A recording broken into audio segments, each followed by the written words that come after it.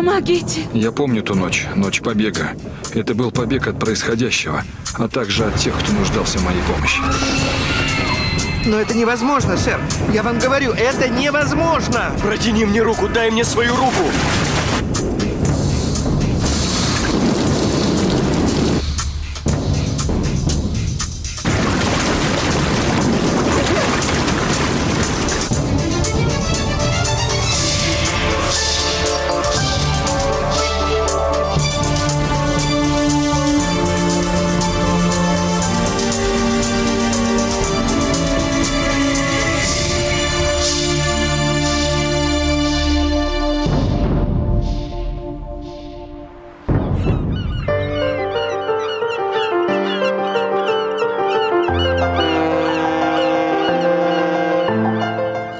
27 сентября 1994 год.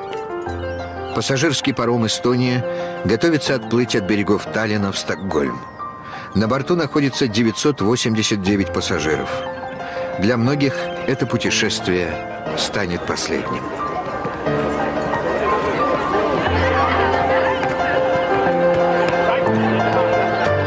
Добрый день. Поздравляю, замечательная речь. Чтобы попасть туда, люди выстраиваются в очередь. Мортон Хевит, молодой профсоюзный деятель, возвращается в родную Швецию после очередной международной конференции. Давай, Марни, это будет здорово. Я клянусь, с каждым разом становится все хуже и хуже. Смотри. Бывший матрос Кристер Эклов вместе со своими молодыми коллегами обеспечивает продовольствием паром «Эстония». Это не так плохо, мы слишком много едим. Они, как и большинство пассажиров, скандинавы. Обслуживающий же персонал на пароме в большей степени состоит из эстонцев. В 23 часа в главном баре для вас откроется караоке. Приходите, мы будем вас ждать. Это так классно, не могу поверить, что мы здесь, Хэдди. Здравствуйте. Добрый день, леди. Вас искал помощник капитана. Хорошо, спасибо. Сильвер Линден работал на Эстонии всего лишь год. Но для сотрудников парома это считалось достаточно неплохим стажем, поэтому молодого человека совсем недавно повысили по службе. Для большей же части остальной команды это был первый рабочий день на пароме. Полная готовность. На средней скорости начинаем двигаться вперед, мистер Кук. Смотрите и учитесь. Магнус Линдстром вместе со своими родителями и подругой Катариной возвращается в Швецию после однодневной поездки в Таллин.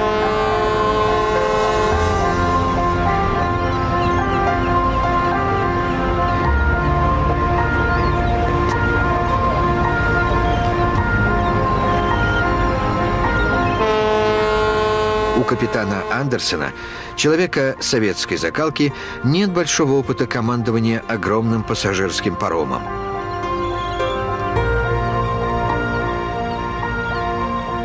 Для жителей Эстонии этот паром не просто пассажирское судно.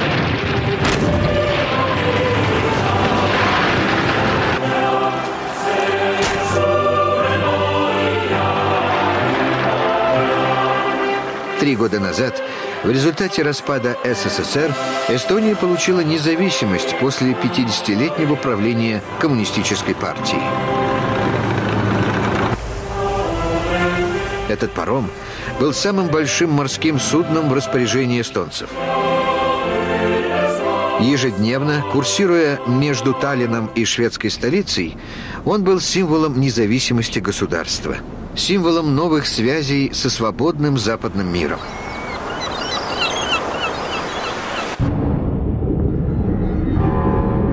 Правда, существовала одна опасность, о которой все предпочитали молчать.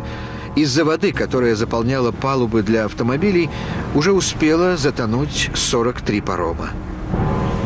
Эстонию ждала та же участь.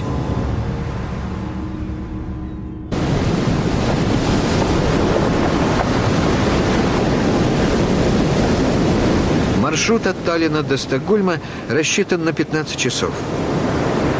В течение двух первых часов Эстония плывет вдоль береговой линии, а затем выходит в открытые воды Балтийского моря.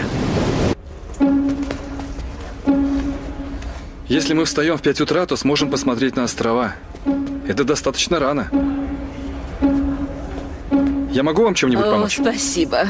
Огромное спасибо. Отвратительная погода. Несмотря на бушующие морские волны, член профсоюза Мортон Хивет наслаждается своей поездкой на пароме. К 9 часам вечера ветер на Балтийском море усилился до 33 миль в час. Резко начался шторм.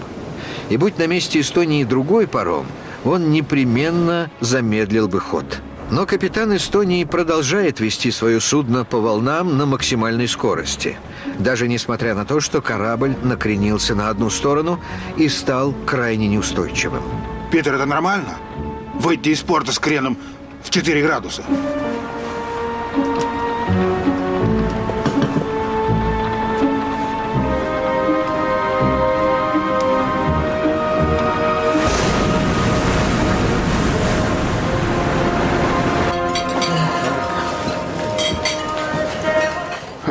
Наконец-то вы пришли.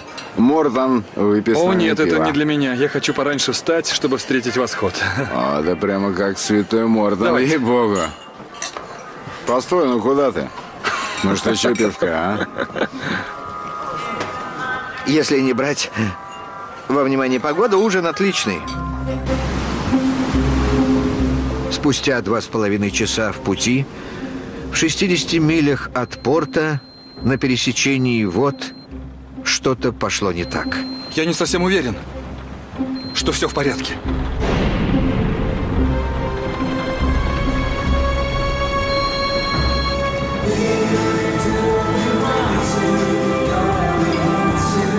Дамы и господа, минутку внимания, дамы и господа. Смотри, какие симпатичные парни. Вон там. Только сегодня, специально для вас. Мардж Рул была готова к своему вечернему выходу. Хорошо, девочки, Дамы и пошли. господа, наши морячки. Раз, два, три, пошли. Регулярные вечерние шоу на пароме приносили неплохие деньги танцовщицам из Эстонии. Благодаря таким заработкам многие девушки сумели выбраться из нищеты, в которой они росли с детства. Несущий вахту Сильвер Линден отвлекается от своих дел, чтобы Хорошо! посмотреть танец.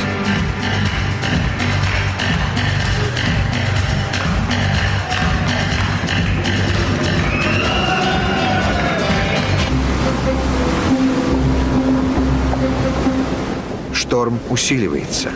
Волны достигают 15 футов. Капитан Андерсон ведет судно строго по курсу. Как дела, мистер Кук? Хорошо, сэр. Правда, мне немного неспокойно. Сверим наши часы. Все, мне надо отойти. Я буду дежурить до пяти утра. А потом свяжемся со штурманом на шведских островах, хорошо? У судна крен. Ну ничего.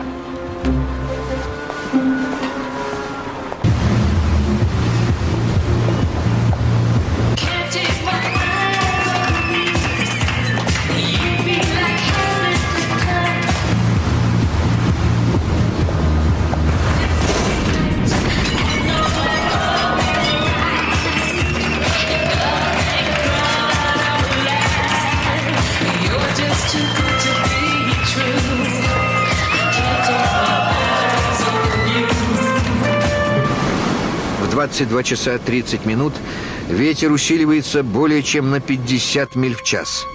Многие пассажиры начинают спускаться на нижние палубы и расходятся по своим каютам. О, простите. Извините, не хотел.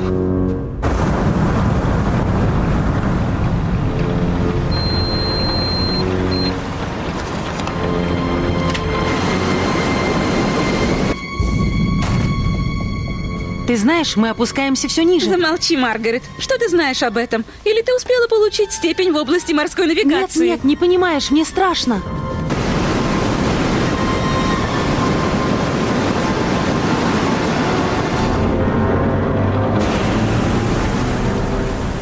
В 23 часа 30 минут ветер меняет свое направление.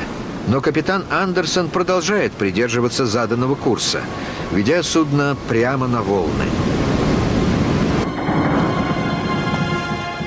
Извините, извините, но у меня в каюте появилась вода.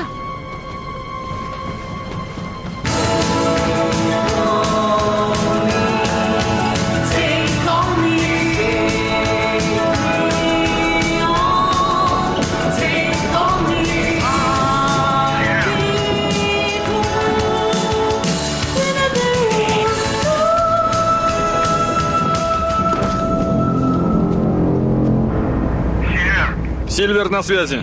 В одной из кают протечка. В какой каюте? 14120. Дай время, и я решу эту проблему. Протечка на 25-м. Да. Капитан послал севера проверить, что там с палубой, но, по-моему, все гораздо серьезнее. Ты же понимаешь, что это может быть? Понимаю. Но никто ничего не говорит. Да. Дай мне знать, если заметишь что-нибудь странное. Ладно. Судно продолжает крениться, но команде в машинном отделении все происходящее кажется обычной штатной ситуацией при зимней переправе. Надеюсь, к утру погода прояснится. Вы как думаете? Член профсоюза Мортон Хивит ложится спать. А?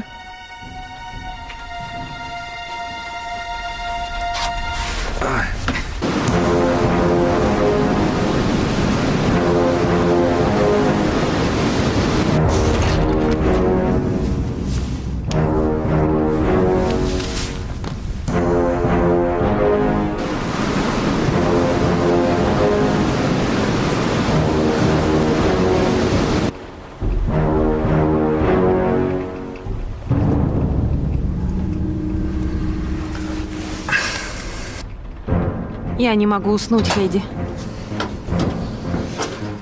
Я не могу расслабиться. Не волнуйся. Я вся напряжена и не могу расслабиться. Мардж Рул волновалась, а ее соседка по каюте была невозмутима и спокойна, ведь никаких предупреждений от капитана не поступало. Для устойчивости корабля в сильный шторм капитан Андерсон отдает команду развернуть пластины стабилизатора. Как дела, Линдон? Там ничего не видно, видимость ноль, сэр. Но наклон уменьшается. Мы от графика почти на час отстаем. Мне нужно, чтобы вы рассчитали более точное время нашей задержки. Выполняйте. Паром продолжает двигаться вперед в сильный шторм. Пассажиры жалуются на морскую болезнь, сэр. Многие задают вопрос, почему мы не сбавляем скорость в такой сильный шторм. Я напомню всем, что у нас есть график, который мы должны выполнять. Спасибо, Линдон. Смотрите после рекламы. У нас серьезные проблемы. Наклон исчезает. Нужно уходить. Это невозможно, сэр. Сигнал красный. А!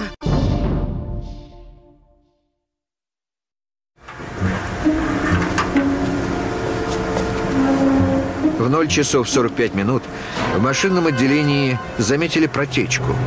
Автомобильная палуба стремительно стала заполняться водой. Диспетчерская, соедините. Срочно соедините меня с диспетчерской.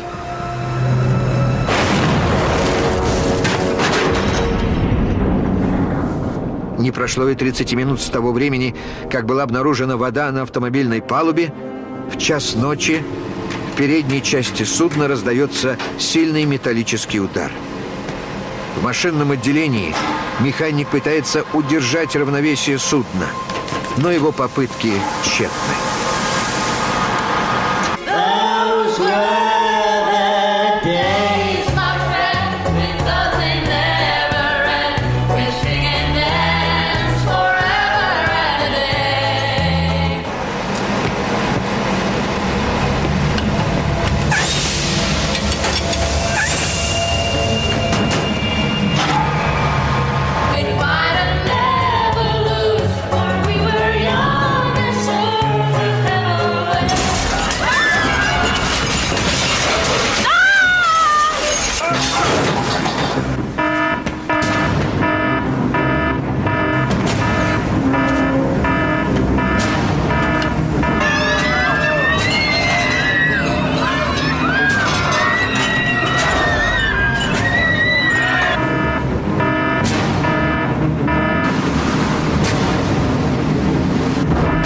Серьезные проблемы. Черт возьми, это было! Протечка. Что происходит? Автомобильная палуба вся в воде.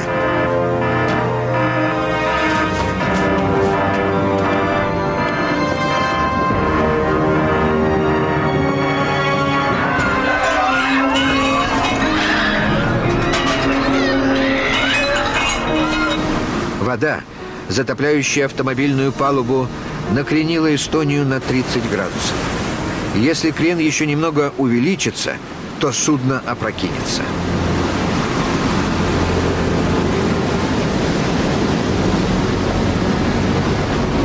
В час 10 минут команде удалось вернуть Эстонию в вертикальное положение. Казалось, что кризис миновал. Капитан судна приказывает Сильверу Линдену осмотреть нижние палубы.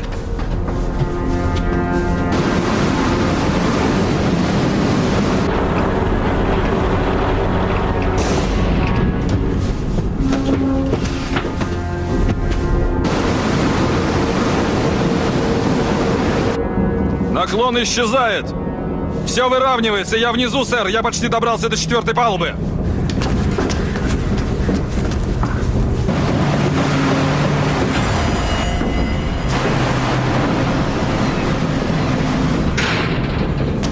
Вода быстро затопляет автомобильные палубы. И именно из-за нее Эстония все глубже погружается в море. Мы уже пробовали сделать это. Он был полный, когда мы отходили от Таллина. Машинное отделение. Срочно. Сигнал красный.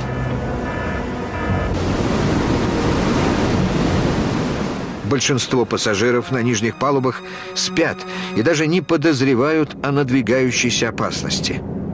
И только танцовщица Мардж Рул, находившаяся на четвертой палубе, было не по себе.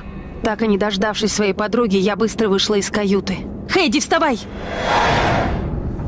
Это был последний раз, когда я видела Хейди. Я поднимаюсь на палубу.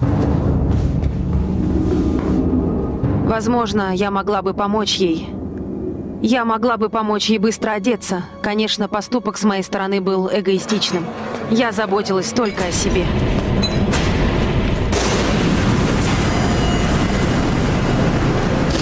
Так же, как и Мардж, Мангус Линдстром решает покинуть свою каюту. Давай же, вставай! Быстрее одевайся! Нужно уходить! Быстрее!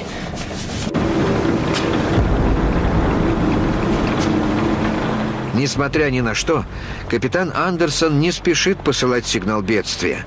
Он приказывает откачать воду из автомобильной палубы.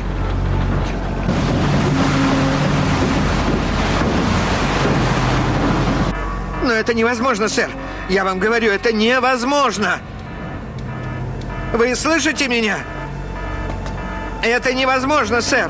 Я сделал все, что мог. Вода заполняет автомобильную палубу слишком быстро. Успокойтесь! Соблюдайте спокойствие! В час 22 минуты вода из автомобильной палубы начала просачиваться на левый борт парома. Катастрофа была неминуема. Выправляйте крен!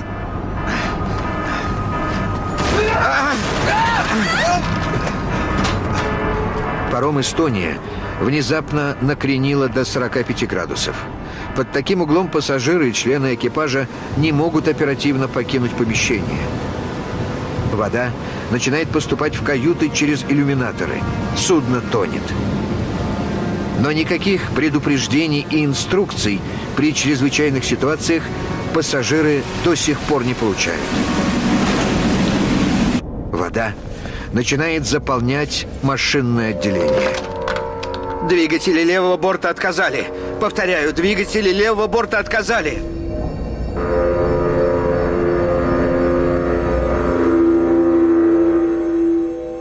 Главная лестница – единственный шанс на спасение у пассажиров с нижних палуб.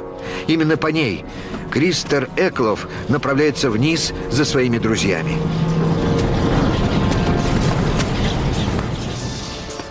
Смотрите после рекламы. Мама! Я больше ничего не могу сделать.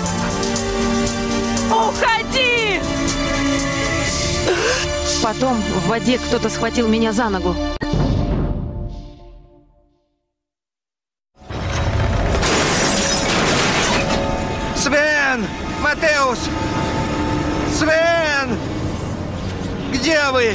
Кристер знает, что он рискует собственной жизнью, оставаясь на нижней палубе. Матеус!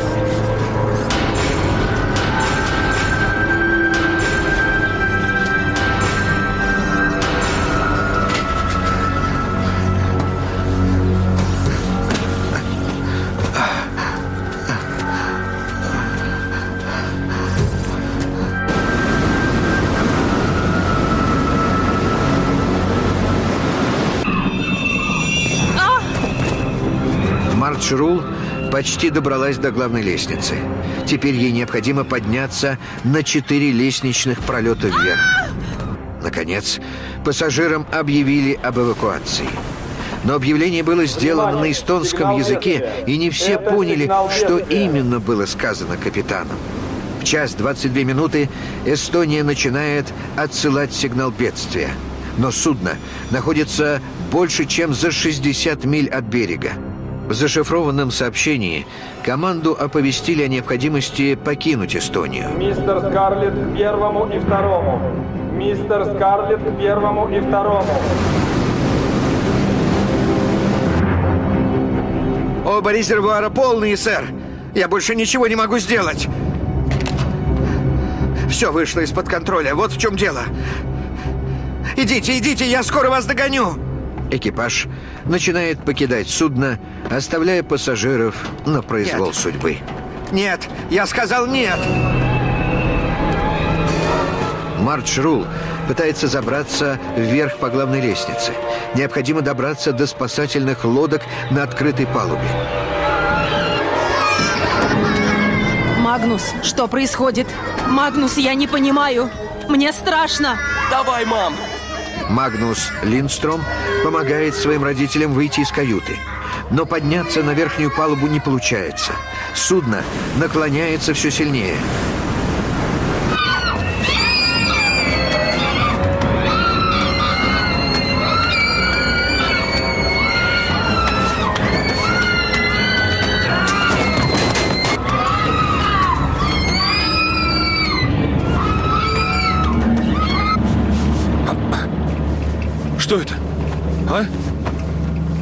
Что-то не так. А, надо одеваться. Я помню ту ночь. Меня спас мой инстинкт. Эффективно он сработал. И это ужасно. Ужасно впоследствии осознавать, что ты выжил не благодаря логике или разуму, а только благодаря инстинкту.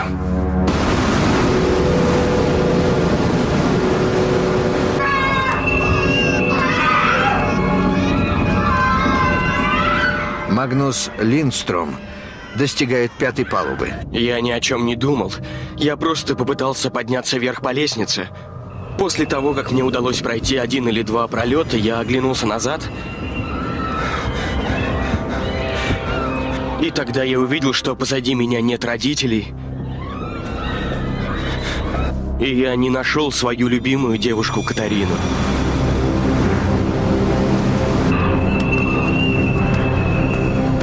Мардж Рул добралась до седьмой палубы. Но лестница к спасательным шлюпкам была заблокирована пассажирами, которые также пытались выбраться на открытую палубу. Только не это! Давайте быстрее! Людям с семьями было гораздо сложнее выбраться. Давайте быстрей! Они не могли просто взять и побежать вперед, но я была одна. И меня ничего не могло остановить. Иди, иди вперед! Давай, тянись! Давай руку давай, тянись! Давай же! Ну!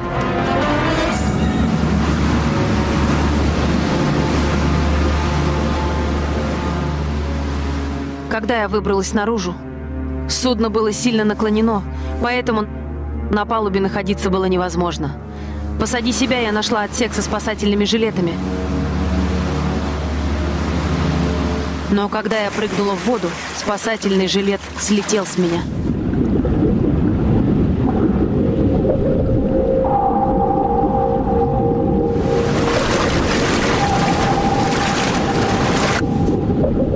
Потом в воде кто-то схватил меня за ногу. Наверное, я должна была помочь этому человеку. Наверное, по мне он мог бы выкарабкаться наверх.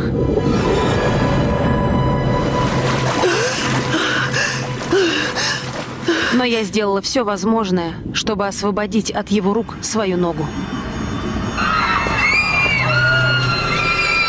Магнус Линдстром возвращается вниз по лестнице за своими родителями. Но они настолько шокированы, что даже не могут пошевелиться. Уходи! Вставайте! Ну, дайте руку! Вставайте скорей! Идем, мама! Мама! Мама! Уходи! Мама! Уходи! Я получил абсолютно четкий приказ от своей матери заботиться только о себе и не беспокоиться о том, что оставил их там. Вот. У них было одно желание, чтобы я выжил, иначе я бы тоже погиб.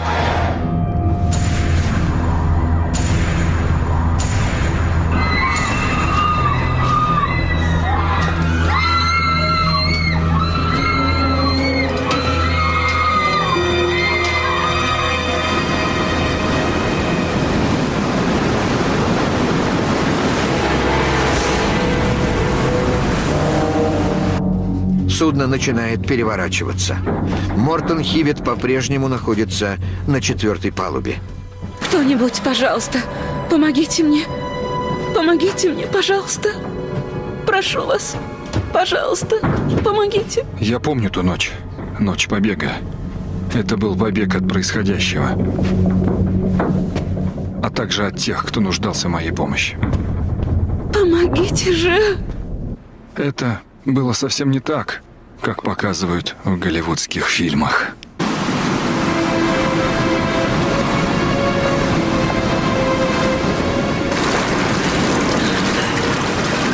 Помогите!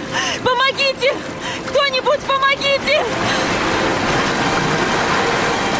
Помогите кто-нибудь! Пожалуйста!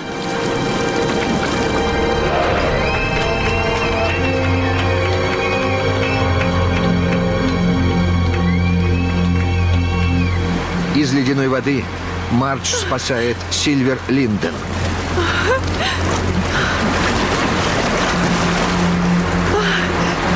Спасибо! В это время Кристер Эклов пытается выбраться с палубы корабля. Я был на палубе, находился между жизнью и смертью. В тот момент я думал о своей семье, потому что четко осознавал, что в любой момент меня может накрыть волной. Именно так и произошло. Меня смыло волной судна и бросило в море. В те секунды я просто пытался понять, чувствую я боль или все уже кончено.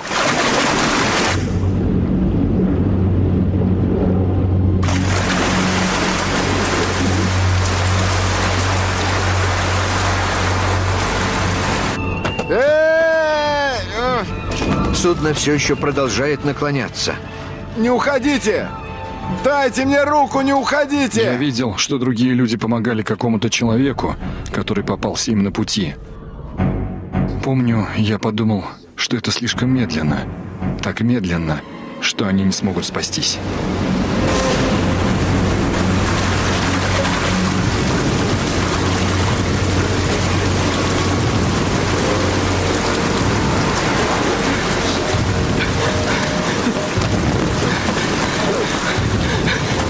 Протяни мне руку!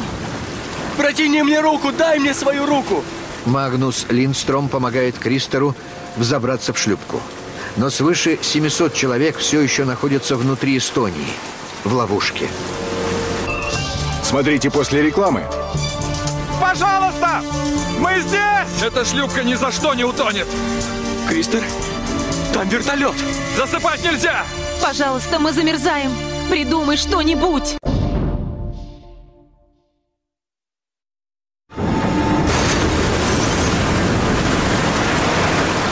Последним, кому удалось спастись с тонущего парома, оказался Мортон Хивет. Когда я выбрался наружу, вокруг было темно, и я не знал, где нахожусь. Я смотрел прямо перед собой, и у меня было такое чувство, э, Я прыгнул в воду, не чувствуя ничего.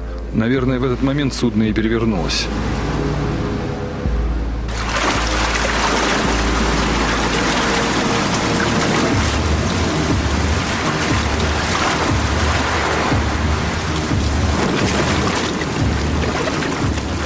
Мортону удалось добраться до шлюпки.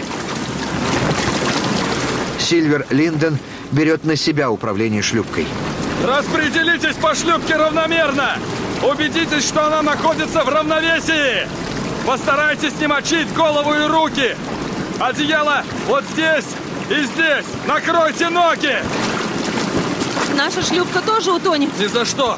Эта шлюпка ни за что не утонет! Волны были такие огромные и такие ужасные, что мне постоянно казалось, что еще немножко, и я умру.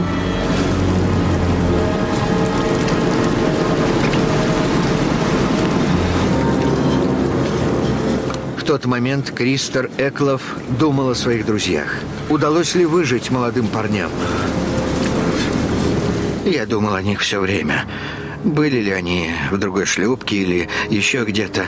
Я молился, чтобы они выжили, но что-то подсказывало мне, что с ними не все так хорошо. Я не знаю почему, но именно так мне казалось. К сожалению, это оказалось правдой. Люди в шлюпке начинают замерзать. Если температура тела падает на 30 градусов по Цельсию, то человек сначала теряет сознание, а затем умирает. Все эти люди... Они погибли! Ты больше ничего не можешь сделать.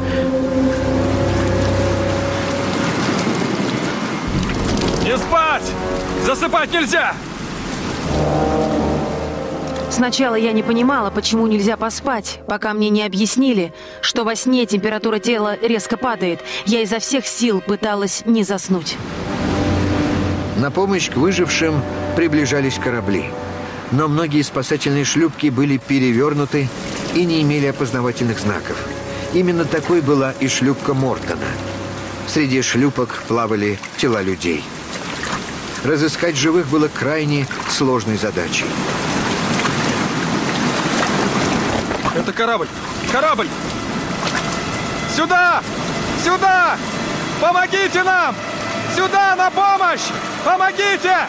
Сюда, пожалуйста! Мы здесь!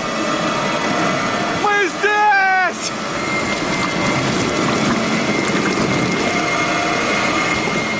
Они не видят нас. В ту ночь я видел, как люди сдавались. Переставали бороться за жизнь. Легче всего было откинуться назад и расслабиться. Это было крайне заманчивой идеей. И в то же время чрезвычайно пугающей. Нужно было бороться, и надо было сказать «нет» и ни в коем случае не засыпать.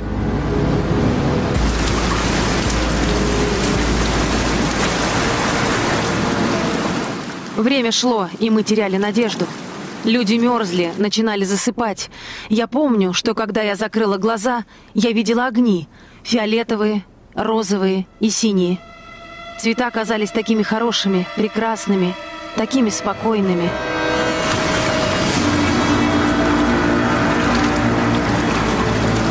В открытой шлюпке Мортона под пронизывающим ветром и холодным воздухом оставшиеся в живых быстро слабели. Пожалуйста, пожалуйста, мы замерзаем. Придумай что-нибудь.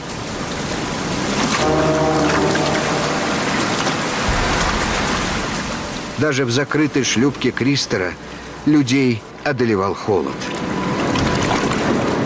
Гипотермия почти одержала верх. Оставшиеся в живых люди бились в судорогах и страдали от галлюцинаций. Спасите, спасите меня! Спасите меня!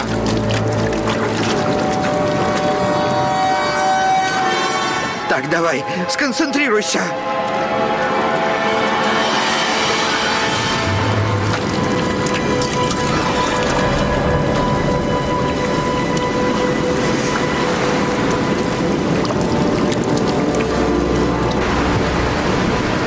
С тех пор, как затонул паром, прошло 4 часа. За это время почти одна треть из тех людей, которым удалось спастись, умерли от холода в шлюпках.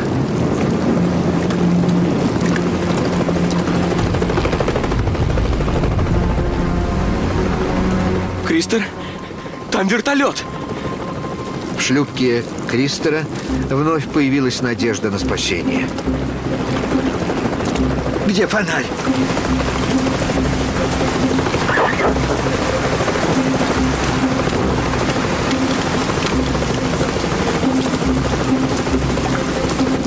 Сначала я обрадовалась, наконец-то мы спасены, но прошел час. А потом, наверное, и еще один, а мы все сидели в шлюпках и наблюдали, как вертолеты кружат над нами, и никто не спасал нас. Вокруг была темнота и хаос. Стало понятно, что может пройти еще немного времени, прежде чем нас найдут. Нам оставалось лишь надеяться на спасение. Надеяться на то, что мы будем живы к тому времени, когда придет реальная помощь. Реальную помощь им предстоит ждать еще долго. Смотрите после рекламы. Когда прилетел вертолет, я знал, что это мой последний шанс. Никто не говорил, что сначала нужно спасать женщин и детей. Я в тот момент заплакал от радости.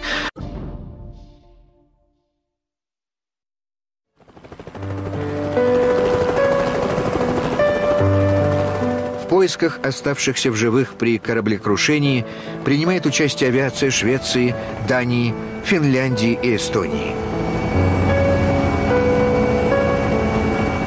Наконец, пилот замечает шлюпку с людьми. В 9 утра, спустя почти 7 часов после того, как Эстония затонула, ослабленного Мортона, одного из первых, поднимают с помощью лебедки на вертолет. Когда прилетел вертолет, я знал, что это мой последний шанс. То, что уже на борту мне сказали, что я походил на всех остальных в шлюпке. Я, как и все, хотел только одного – спать. Это был тревожный знак. Среди той беды, которая произошла с паромом, если и была радость, то только одна. В тот момент, когда у нас получилось обратить на себя внимание пилотов, когда вертолеты зависли над нами, над нашей небольшой шлюпкой, я в тот момент заплакал от радости. Я плакал, когда слышал, что нам говорят спасатели о том, что видят нас. Я помню тот момент, когда я оказался на вертолете, укрылся одеялом и понял, что все-таки выжил. Это незабываемое чувство. Когда меня поднимали на вертолет, и я оказалась между морем и небом, мне было ужасно страшно. Ужасное чувство. Я закрыла глаза и пыталась не смотреть по сторонам. Но в тот же момент я осознала, что все худшее уже позади, и мне не стоит бояться. Потом я смотрела на море и плакала.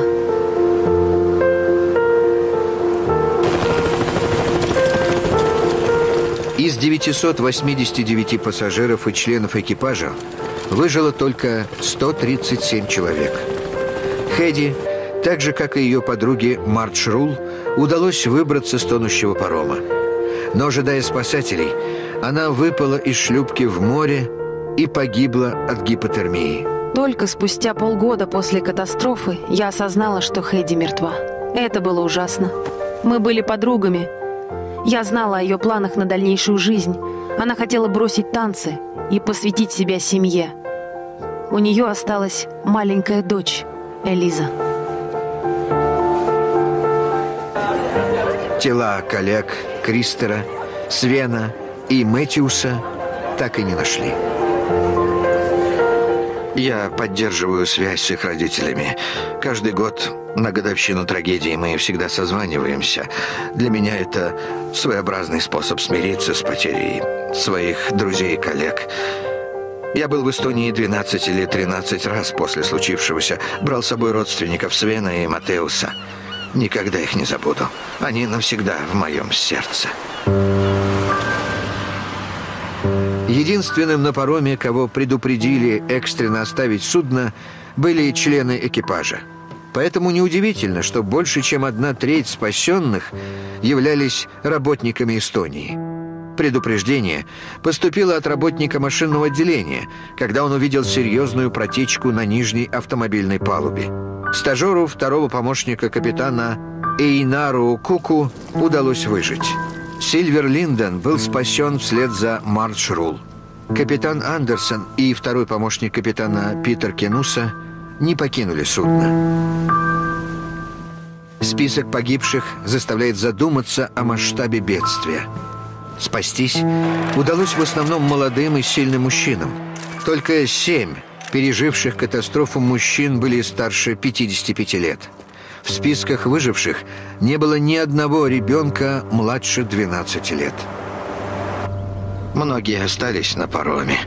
Подумайте, например, о пенсионерах, которые остались в своих каютах, когда судно начало опрокидываться. Они сидели и думали, хорошо, мы будем сидеть и ждать, ведь члены экипажа не объявили сигнал бедствия.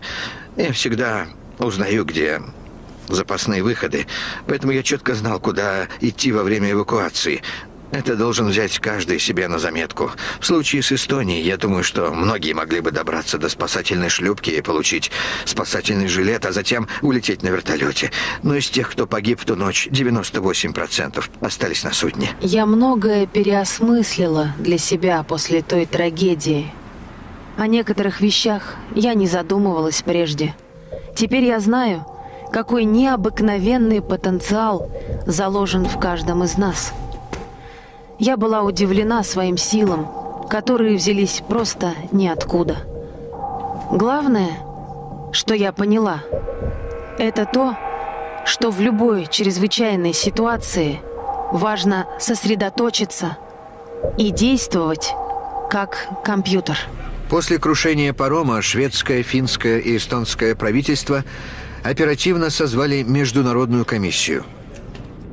Водолазы нашли Эстонию на морском дне, на глубине 300 футов.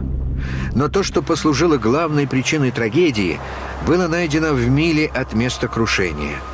Металлический щиток служил главным барьером от воды на пароме. Попросту это была шарнирная дверь, расположенная впереди судна. Устройство щитка Эстонии, который поднимался и опускался, чтобы запускать и выпускать автомобили, был сконструирован ровно по той же схеме, как и все щитки тех лет. Исследователи пришли к заключению, что, двигаясь во время шторма 27 сентября 1994 года, щиток парома «Эстония» получил настолько сильный удар о волны, что три стержня, которые держали его, сломались. Это привело к тому, что щиток разбился о корпус парома, идущего на большой скорости.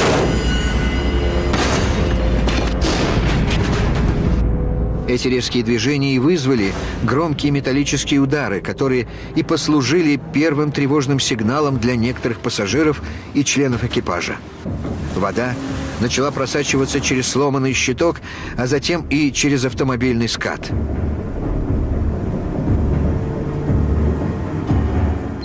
Однако капитан Эстонии неправильно проанализировал ситуацию, доверившись приборам, которые не показали, что щиток поврежден. Тем временем вода просачивалась на автомобильную палубу, и паром становился все более и более неустойчивым. Приблизительно в час 15 ночи щиток оторвался от корпуса Эстонии.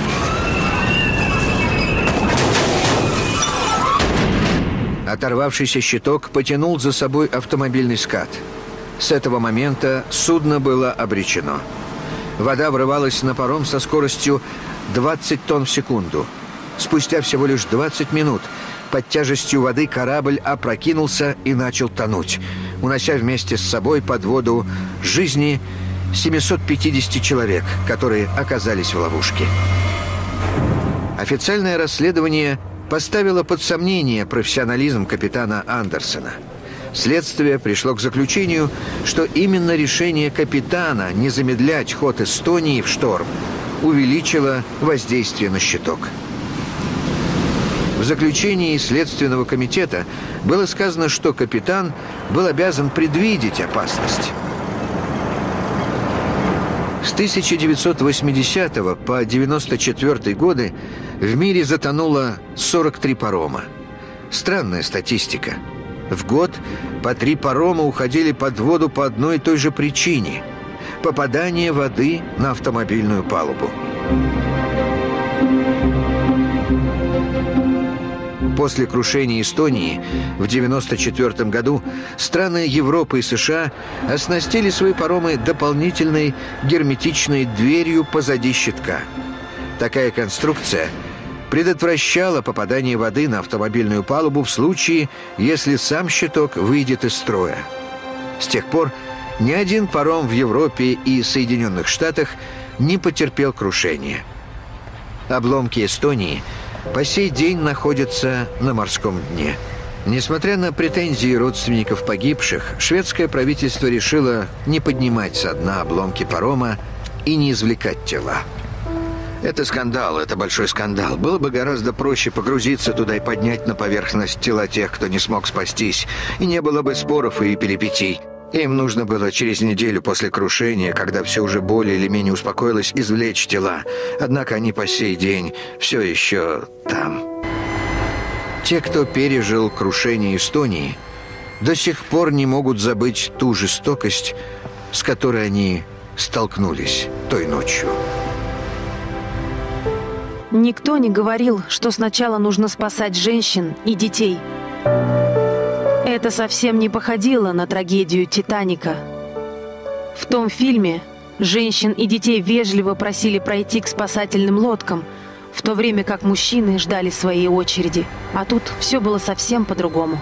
Я предпочитаю ту жизнь и мораль, которая больше походит на голливудские фильмы, но вместо этого мне приходится жить суровой действительности. А той ночью Эстония... Там было немного героев. И, конечно, я не в их числе.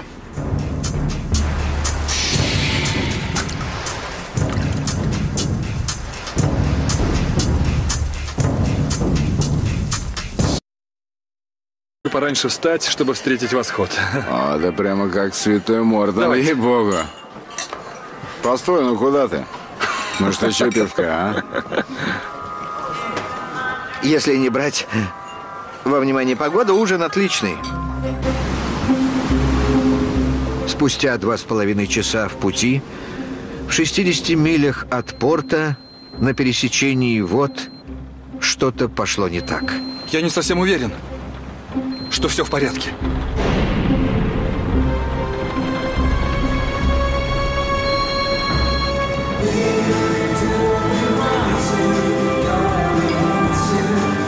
Дамы и господа, минутку внимания, дамы и господа. Смотри, какие симпатичные парни.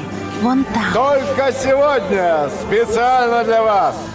Мардж Рул была готова к своему вечернему выходу. Хорошо, девочки, Дамы пошли. и господа, наши морячки. Раз, Раз, два, два, три, три. пошли! Регулярные вечерние шоу на пароме приносили неплохие деньги танцовщицам из Эстонии. Благодаря таким заработкам многие девушки сумели выбраться из нищеты, в которой они росли с детства. Несущий вахту Сильвер Линден отвлекается от своих дел, чтобы Хорошо! посмотреть танец.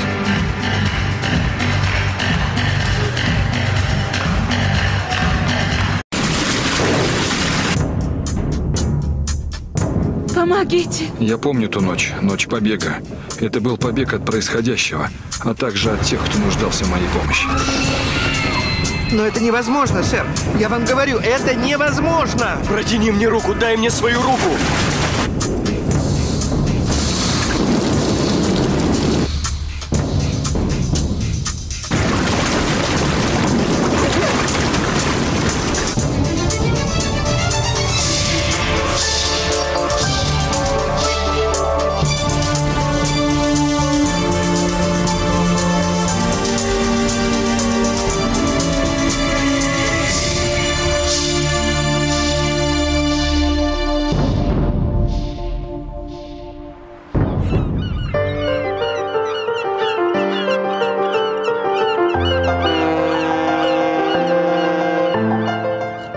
Двадцать седьмое сентября 1994 год.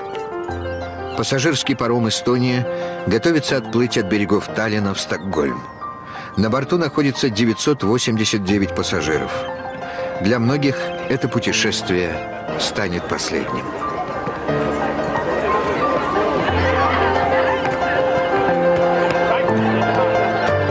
Добрый день. Поздравляю, замечательная речь. Чтобы попасть туда, люди выстраиваются в очередь.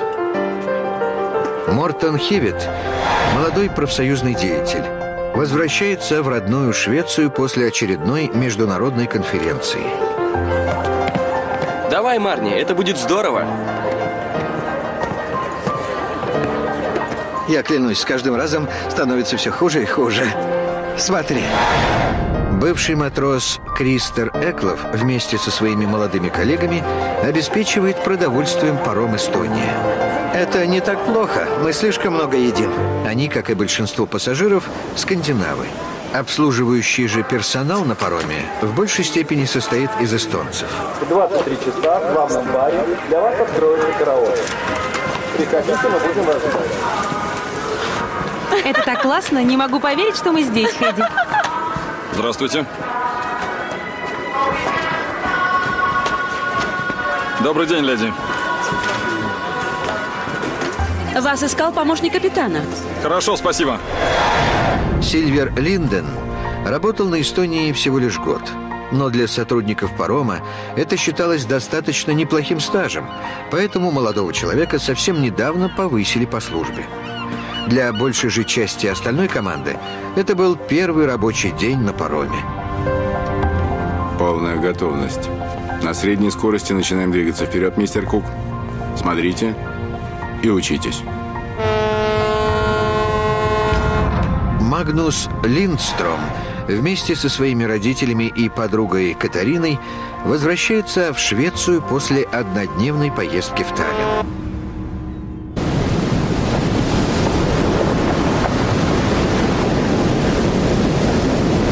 Маршрут от Таллина до Стокгольма рассчитан на 15 часов. В течение двух первых часов Эстония плывет вдоль береговой линии, а затем выходит в открытые воды Балтийского моря. Если мы встаем в 5 утра, то сможем посмотреть на острова. Это достаточно рано. Я могу вам чем-нибудь О, помочь? спасибо. Огромное спасибо. Отвратительная погода. Несмотря на бушующие морские волны, член профсоюза Мортон Хивет наслаждается своей поездкой на пароме. К 9 часам вечера ветер на Балтийском море усилился до 33 миль в час. Резко начался шторм. И будь на месте Эстонии другой паром, он непременно замедлил бы ход. Но капитан Эстонии продолжает вести свое судно по волнам на максимальной скорости, даже несмотря на то, что корабль накренился на одну сторону и стал крайне неустойчивым. Питер, это нормально? Выйти из порта с креном в 4 градуса.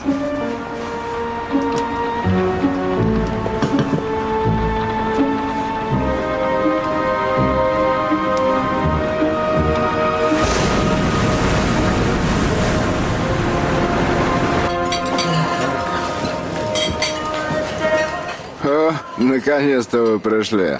Мортон, выписанное О, нет, это пиво. не для меня. Я хочу...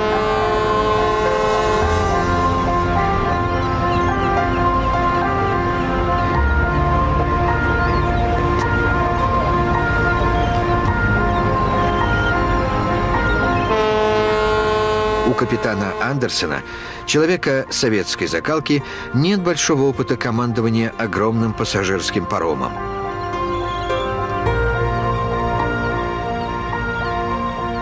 Для жителей Эстонии этот паром не просто пассажирское судно.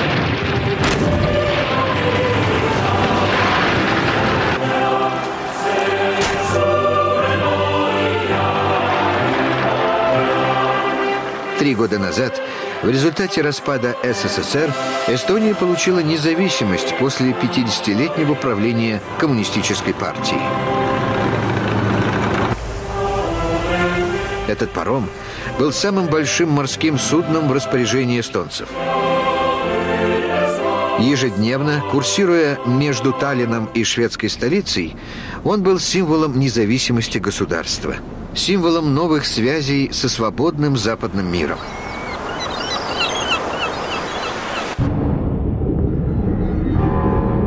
Правда, существовала одна опасность, о которой все предпочитали молчать. Из-за воды, которая заполняла палубы для автомобилей, уже успела затонуть 43 парома. Эстонию ждала та же участь.